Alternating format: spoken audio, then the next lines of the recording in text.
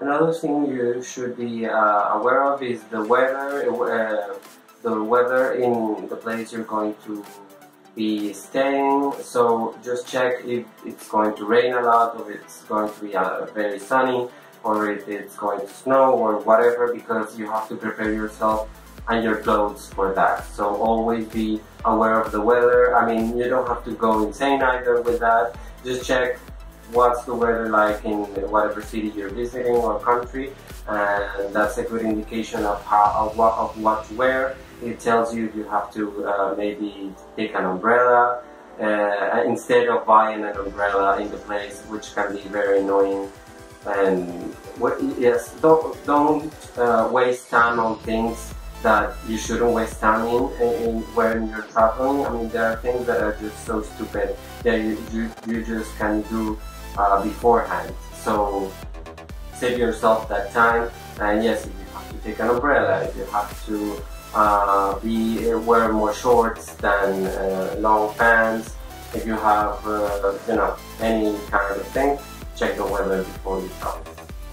I was uh, saying something about eating before, and this tip is about uh, be careful where you eat actually. Because yes I mean if you have money to spend that's great and normally you don't really have to you know like be too careful of where you eat. Because if you have money you just go to nice restaurants where, where there are a lot of people which is normally an indication of something good and you just eat there and that's that's it I mean it's probably the best uh, in those cases if you have money be aware of what you eat.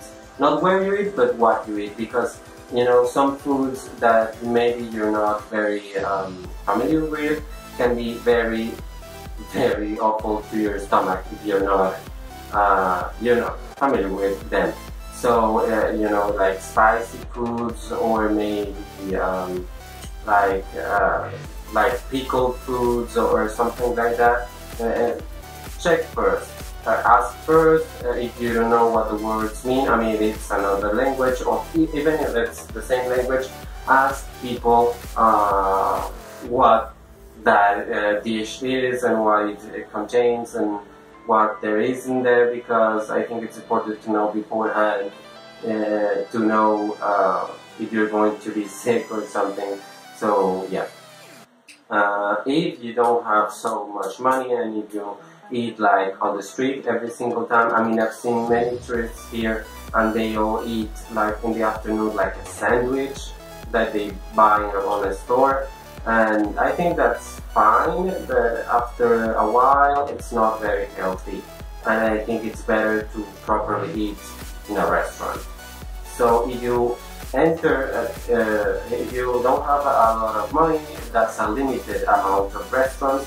So I would advise you to walk a lot and walk around and always um, try to remember the restaurants that you see on your way and the prices and what they offer. And that way you can do like a little map in your mind and it, you are going to add every single restaurant you see, every single thing you see on that map and that will come in handy whenever you feel like eating. So we'll, so let's just say you start your day at I don't know 10 a.m. and at 6 p.m. you're really hungry, but you remember that on the way up to the museum on that morning you saw this place that sold uh, I don't know Turkish food, and it looked really good and it was really not expensive so if you remember that place and you remember that it was like clean, it was with people, it was seemed really nice, so you know that you can go back there and just eat there.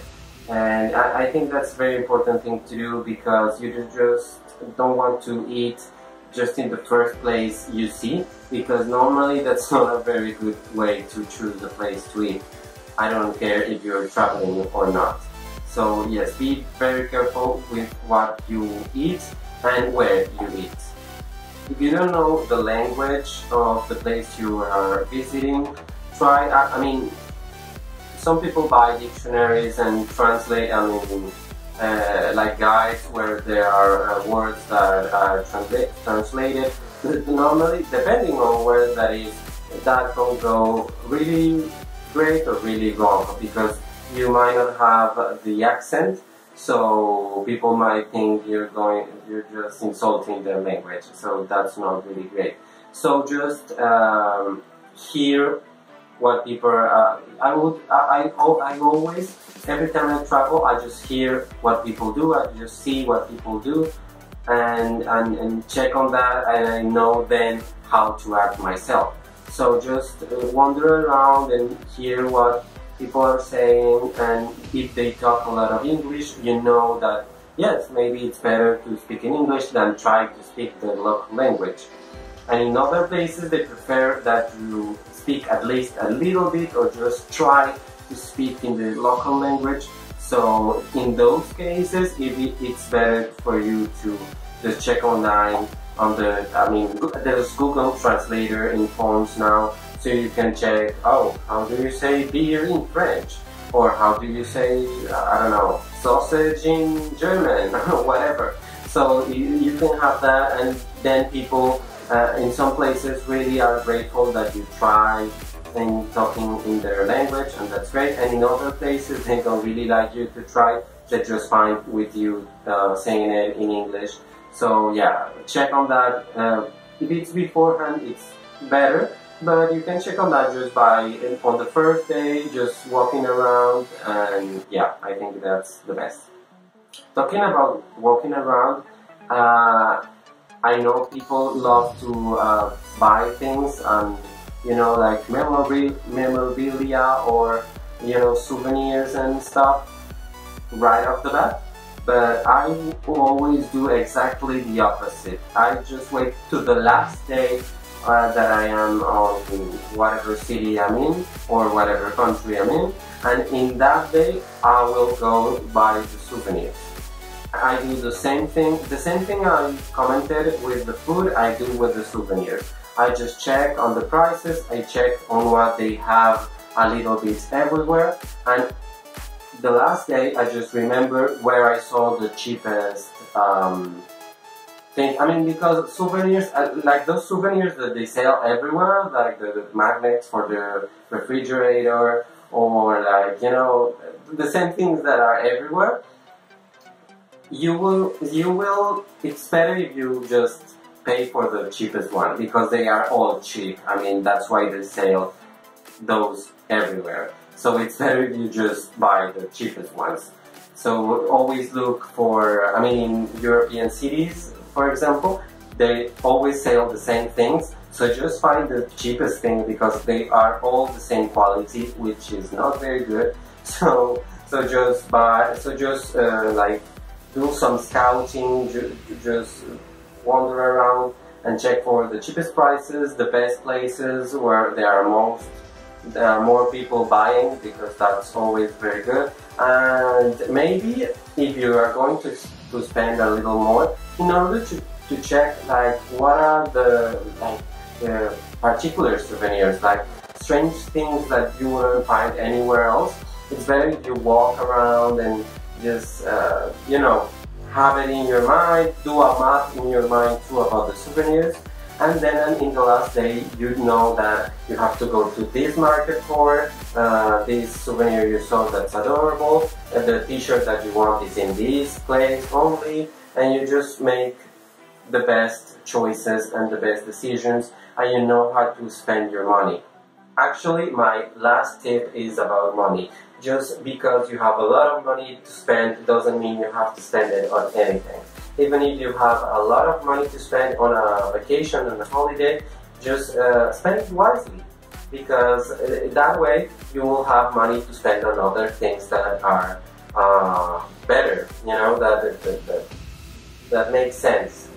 So uh, always spend spend the right amount of money in souvenirs, in transportation, in, in, I mean if you plan everything as I as I've said, not like a crazy person, but you know informing yourself about the place and like respecting the place you're going to go. I, I think that's I mean that's another tip inside this tip, but always respect people and the place as it, as it is that you're going to visit, wherever that is. I mean, I think people, some people, more young people than others, uh, when they travel, they don't really respect the place where they are going, and they don't really give a shit about about that.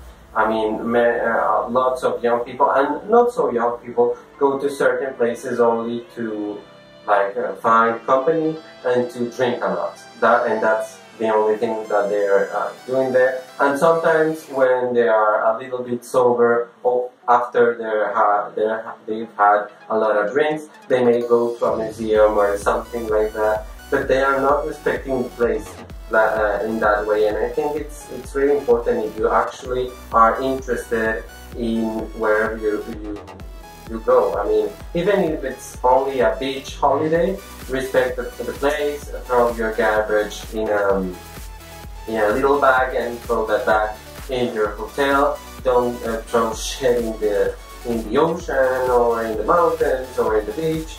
Uh, be respectful with the people, respect their traditions if they are different than yours. I mean, it's the basics. I, I, I, just respect other people because it, not because they live in uh, another country with other, um, let's say, rules. It doesn't mean that you shouldn't um, respect them. So I think that's a must. And, and money-wise, just count your money. I mean, I mean, um, this is mainly directed to students that travel. Just be intelligent with the money you spend if you know uh, the, the right prices, the cheapest prices for uh, the places that you want to visit, maybe you will have more money to spend on um, yummy food, or in great souvenirs, or in whatever you want to spend that money on. So I think that if you inform yourself, it's, uh, you will have the best traveling experience there can be. So those are my tips for traveling, not only Europe but in Asia and in the Americas and, and Africa and wherever.